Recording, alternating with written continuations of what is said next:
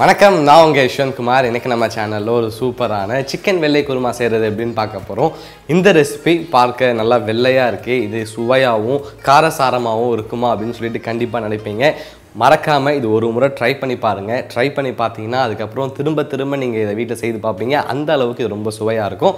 இப்போ இதுக்கு தேவையான இன்க்ரீடியன்ஸ் இது எப்படி செய்கிறது அப்படின்றத பார்ப்போம். சிக்கன் வெள்ளை குருமா செய்கிறதுக்காக ஒரு பவுலில் ஒரு முழு தேங்காயை கட் பண்ணி வச்சுருக்கேன். இதில் பதினைந்து கிராம் அளவு முந்திரி சேர்த்துக்கிறேன். கூடவே ரெண்டு டேபிள் ஸ்பூன் அளவு கசகசாவை தண்ணியில் ஊற வைத்திருந்தேன். அதையும் இதில் சேர்த்து எல்லா இன்க்ரீடியண்ட்டும் ஒன்றோட ஒன்று கம்பைன் ஆகிற மாதிரி கொஞ்சமாக தண்ணி சேர்த்து இதை நல்லா ஃபைன் பேஸ்ட்டாக அரைச்சி எடுத்துக்கலாம்.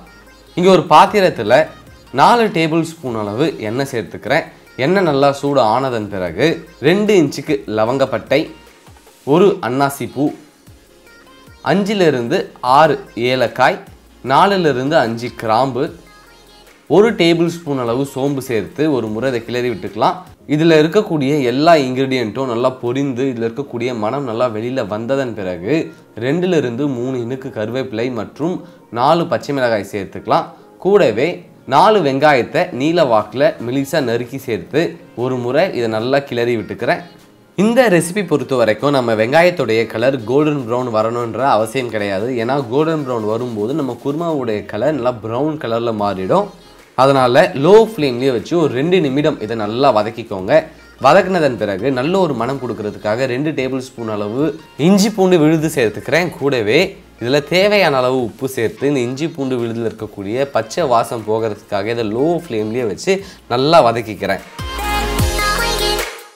இதில் இருக்கக்கூடிய பச்சை வாசம் முழுமையாக போயிடுச்சு. இந்த நேரத்தில் ஒரு கிலோ அளவு சிக்கன் சேர்த்து இந்த மசாலாவும் சிக்கனும் ஒன்றோட ஒன்று நல்லா கம்பைன் ஆகிற மாதிரி இதை ஒரு முறை நல்லா கிளறி விட்டுக்கலாம்.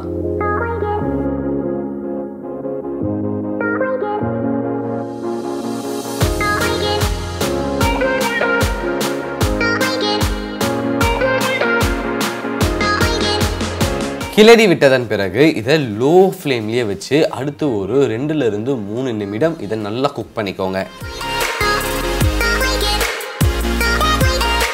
நான் சொன்ன மாதிரியே இந்த சிக்கன் ரெண்டுலேருந்து மூணு நிமிடம் நல்லா லோ ஃப்ளேம்லேயே குக் ஆகிடுச்சு இதில் நம்ம அரைத்து வச்சுருந்த தேங்காய் முந்திரி மற்றும் கசகச கலவையை இதில் சேர்த்துக்கலாம்.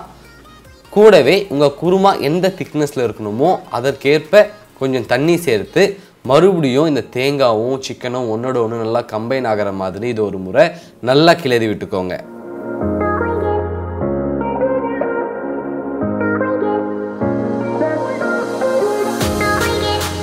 எல்லா இன்க்ரீடியண்ட்டும் ஒன்றோட ஒன்று நல்லா கம்பைன் ஆகிற மாதிரி இது ஒரு முறை நல்லா கிளறி விட்டுட்டேன். இப்போ லோ ஃப்ளேம்லேயே வச்சு அடுத்து ஒரு பத்து நிமிடம் இந்த குருமாவை நல்லா கொதிக்க விடுங்க.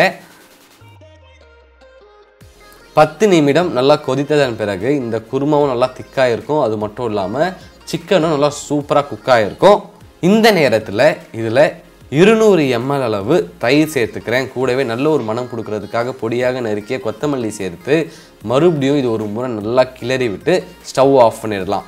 அவ்வளோதான் ரொம்பவே ஈஸியான டேஸ்டியான சிக்கன் வெள்ளை குருமா ரெடி ஆகிடுச்சு இதை அழகாக ஒரு பவுலில் போர்ஷன் பண்ணிக்கிறேன்.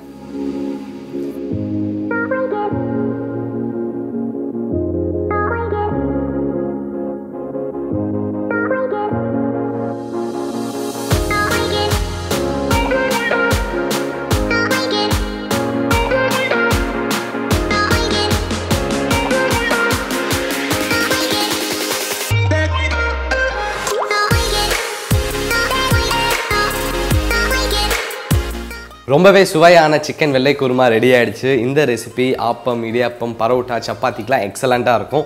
மறக்காமல் வீட்டில் ட்ரை பண்ணி பாருங்கள் ட்ரை பண்ணி பார்த்துட்டு உங்களோட ஃபீட்பேக்கை கீழே கமெண்ட் பண்ணுங்கள் இதே மாதிரி இன்னொரு சூப்பர் ரெசிபியோட உங்களை நான் சந்திக்கிறேன். And then bye from Yashwant